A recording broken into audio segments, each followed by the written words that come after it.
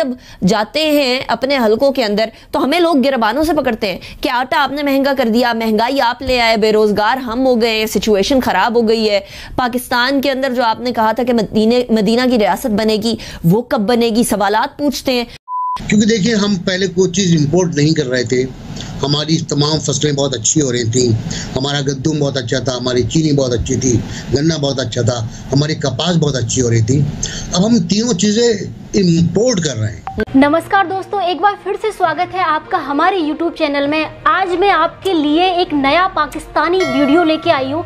तो एक बार वीडियो देखिए और अगर आपको वीडियो अच्छा लगे तो वीडियो को लाइक करें कमेंट करें और वीडियो को शेयर करें। क्योंकि देखिए हम पहले कोई चीज़ इंपोर्ट नहीं कर रहे थे। हमारी तमाम फ़सलें बहुत अच्छी हो रही थी। हमारा गद्दुम बहुत अच्छा था हमारी चीनी बहुत अच्छी थी गन्ना बहुत अच्छा था हमारी कपास बहुत अच्छी हो रही थी। अब हम तीनों चीज़ें इम्पोर्ट कर रहे हैं। एक कैश क्रॉप वाला आ, मुल्क जब चीज़ों को इम्पोर्ट करने लगे तो वो गरीब हो जाता है। अब ये आठ महीने जो गुजरे हैं इसमें आज की जो रिपोर्ट है मेरे पास सरकारी रिपोर्ट है। सरकारी रिपोर्ट है ये। 50.29 परसेंट इजाफा हुआ है हमारी इंपोर्ट बिल में और पाँच अरब तीन सौ चवालीस five point three four four billion dollar right की हमने इटेबल। इटेबल खाने के लिए की अशिया इम्पोर्ट की हैं। राइट अब के बाद अब बात आई है गर्दिशी कर्जों की कि हम गर्दिशी कर्जे बहुत हो गए हैं हमारे। तो हम बिजली के बिल में इजाफा करके उनको रिकवर करेंगे। ये एक बहुत बड़ा कुल्हाड़ा होगा। सही। जो आप लोगों के अपने अपने गर्दन पे अपनी कमर पे खुद लादे हुए चैलेंजेस हैं। उनका क्या करेंगे आप? पाँच साल बाद जाकर अवाम को भी जवाब देना। दो अरब डॉलर की आपकी फॉरेन रेमिटेंस आ रही है नौ महीने से। This is a ninth straight month Pakistan की हिस्ट्री में दो अरब डॉलर की फॉरेन रेमिटेंस नहीं आई। अठारह इशारिया दो अरब डॉलर आपके पास फॉरेन है। दुनिया में कोविड की वजह से लोगों की नौकरियाँ चली गई। पूरे सऊदी अरब से दुबई से पाकिस्तान जो है वापस आने शुरू हुआ क्योंकि वहाँ पे नौकरियाँ नहीं है। और आप सऊदिया से दुनिया में रिकॉर्ड आपने वहाँ से फॉरेन रेमिटेंस आ रही। क्यों? क्योंकि जो पाकिस्तानी थे उनको एतमाद आना शुरू हो गया है कि उन्होंने पैसे अब पाकिस्तान में रखने हैं। आपका फॉरेन रेमिटेंस एक बढ़ गया। आपकी इंडस्ट्री चल रही है। मेरा एक दोस्त है उसकी टाइल फिक्सिंग इंडस्ट्री में काम करता है वो कहता है कि होंडी बंद होने की वजह से ये आपकी गवर्नमेंट का होंडी बंद होने की वजह से हम लोग यहाँ से पेमेंट नहीं कर सकते। बाहर से टाइल्स आने बंद हो गई हैं अब यहाँ की जो लोकल टाइल इंडस्ट्री है वो छह महीने बाद हमें ऑर्डर देती है अगर आज पेमेंट की जाए। इतनी एक डिमांड कंस्ट्रक्शन इंडस्ट्री में आ गई है। आप फैसलाबाद में जाके एक्सपोर्ट इंडस्ट्री देखें जो आपकी टेक्सटाइल के साथ हाल है। ट्रस्ट भी मुल्तान से लोग जाके फैसलाबाद में वहाँ दिहाड़ी करने शुरू हो गए आई वंडर कि चुगताई साहब ने फिगर कहाँ से ली है but as by my projection shows अब मैं महँगाई की तरफ़ ही आपकी समझ कौन सा ऐसा फैक्टर है जो हमने जिसको कंट्रोल नहीं किया? आज एक हफ़्ता पहले मैं बैठा था किसी ने मुझे कहा मुर्गी साढ़े पाँच सौ की होगी। मैं कहा शादियों का सीज़न है एक साइकिलिकल डिमांड आती है। आज जैसे ही डिमांड कम हुई साढ़े तीन सौ रुपए मुर्गी आ गई। नहीं लेकिन पाँच सौ तक नहीं गई वो सात सौ तक गई। साढ़े पाँच सौ मैं मुर्गी लेने गया था साढ़े पाँच सौ थी। अब आज कराची साढ़े- के अंदर आज 700 मिल रही आज साढ़े तीन सौ रुपए पे है। So things go up so you can't really compare cyclical आप, चीज़ें। आप, आप जो डॉलर की सतह ऊँची जाने की वजह से रुपए के ऊपर और उसकी कदर के अंदर जो डॉलर की सतह कमी आई है। की है?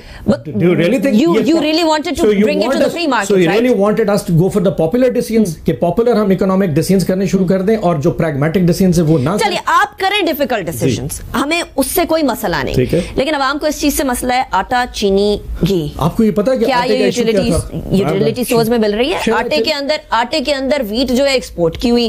देन वी हैव ट्रबल के जेकेटी को आप लोगों ने साइड पे तो कर दिया लेकिन उसके बावजूद भी चीज़ें आगे नहीं बढ़ रही केस मैं हर पॉलिटिकल शो पे जाता हूँ मुझसे आटे का सवाल पूछते हैं मैं उनसे पूछता हूँ आपको पता है कि पाकिस्तान की टोटल वीट की जो आउटपुट है कितनी है? सताइस मिलियन टन दो करोड़ सत्तर लाख मैट्रिक टन हमारी वीट की प्रोडक्शन है।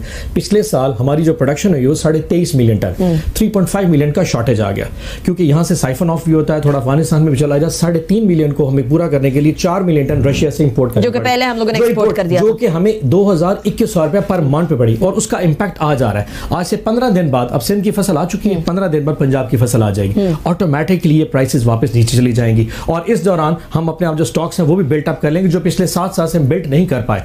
Government have all the plans light down why did you understand कि जो ये वेदर के इश्यूज़ हैं जो शॉर्टेजेस होती है वो मार्केट पे अपना इम्पैक्ट थोड़ा थोड़ा क्रिएट ज़रूर सेनेटर गौस न्याजी साहब मैं नासिर बेग चुगताई साहब की तरफ़ बढ़ूँगी। नासिर साहब आप थोड़ी देर पहले फरमा रहे थे कि अब जो है वो बिकॉज़ आईएमएफ के साथ हमारी डिस्कशंस चल रही हैं। अब हम लोगों को बिजली की कीमतें और पेट्रोलियम की कीमतों के अंदर भी इजाफा करना पड़ेगा। ये खान साहब कहा करते थे कि जब भी पेट्रोल की कीमतों में इजाफा हो और टैक्स बहुत ज़्यादा लिया जा रहा हो in comparison to the international market पर बैरल जो कीमत होती है तो कहीं ना कहीं करप्शन हो रही है। आ, लेकिन मामला अभी भी हमें वही नज़र आ रहा है। करप्शन हो रही है या फिर कुछ और मामला? देखिए करप्शन तो पाकिस्तान में मतलब पाकिस्तान की पूरी दुनिया में करप्शन बहुत आम है। आप अमरीकी इंतबात देख लें कितना पैसा खर्च होता है। Talking about Khan Sahab here NBC जनूबी एशिया आ जाए आप कितना कहते हज़ार करोड़ डॉलर रुपए का करप्शन हो गया इंडिया में। पाकिस्तान में आ जाए सौ करोड़ अरब का करप्शन होता है पाकिस्तान में। तो हम सब अपने अपने फॉरेन एक्सचेंज की बलबूते पे करप्शन करते हैं। हम्म। हमारी सूरत ये बाज़ात गलत फैसले। हमें मजबूर कर देते हैं और मायूस कर देते हैं उसकी ऐसे हम उसे करप्शन कहते हैं। या तो वो गलत गलत फैसले थे नाइली की बुनियाद पर थे या वो फैसले डाटा की बुनियाद पर गलत थे या डाटा गलत था गलती कहीं ना कहीं थी। मतलब अगर आपका चीफ मिनिस्टर पंजाब उससे एफ़ आई ए पूछती है कि आपने सब्सिडी क्यों दी आ, चीनी पर तो उसने मैंने तो नहीं दी। तो उन्होंने कहा कैबिनेट के मिनट्स में तो ये लिखा हुआ है। ये पूछ गया चाहे एफ़ आई ए की। कैबिनेट की मीटिंग में तो ये लिखा हुआ है। उन्होंने कहा मुझे तो पता ही नहीं। मालूम ये हुआ ईसीसी के फैसले से पहले चीफ मिनिस्टर ने सब्सिडी दे दी थी। गंदुम आपके पास नहीं था। आपको गलत डाटा दिया गया कि बहुत गंदुम है एक्सपोर्ट कर दे। आपने हम्म। बोरी एक्सपोर्ट कर दी। मालूम गंदुम खत्म हो गया। वो महँगा हो गया दुगना हो गया तिगना हो गया। फिर आपने वही चीनी वही गंदुम वापस मंगवाया। उसी का असर अब तक चल रहा है। उसी की सूरत हाल अब तक चल रही है और बड़ी ख़राब सूरत हाल है 148 परसेंट इजाफा हुआ है एक साल में, कीमतों में। और रमज़ान आने वाले हैं, भी पैकेज वैकेज, आपको भी पता है निका मुझे ही पता है, बास आपको भी पता होगा, ये पैकेज बहुत आते रहे पीपल्स पार्टी के दौर में, नवाज़ शरीफ के दौर में, बहुत दावे, नहीं, कीमत नहीं बढ़ेगी और कीमतें दुगनी हो जाती हैं।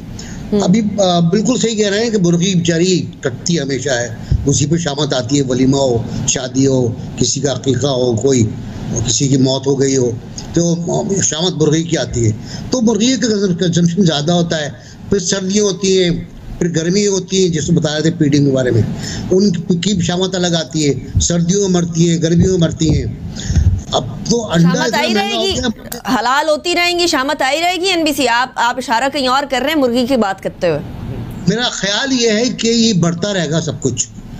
एनबीसी क्यों डरा रहे हैं आप? क्यों डरा रहे हैं? हमें सेनेटर रॉन इतनी रोजी पिक्चर पेश कर रहे हैं कि सारी चीज़ें सही हो रही हैं things are going well Pakistan Tehreek Insaf deliver करेगी हमें उस पर बिलीव करने दें। लेकिन सेनेटर रॉन मसला ये है कि बिलीव उस पर तब किया जाए जब आपके अपने लोग भी उस पर यकीन कर रहे हो। मैं नाम नहीं लूँगी क्योंकि वो ऑब्वियसली कॉन्फिडेंस के अंदर ये बात कही गई थी, थी लेकिन आपके अपने पार्लियामेंटेरियंस सात से आठ पार्लियामेंटेरियंस ये शिकवा मेरे साथ कर चुके हैं मेरे सामने कर चुके हैं कुछ ऐसी आ, बातों के हवाले से कि हम जब जाते हैं अपने हलकों के अंदर तो हमें लोग गिरबानों से पकड़ते हैं कि आटा आपने महँगा कर दिया महँगाई आप ले आए बेरोजगार हम हो गए सिचुएशन खराब हो गई है। पाकिस्तान के अंदर जो आपने कहा था कि मदीने मदीना की रियासत बनेगी वो कब बनेगी सवाल पूछते हैं। तो बहुत क्या बोला तूने? पाकिस्तान के अंदर जो आपने कहा था कि मदीने मदीना की रियासत बनेगी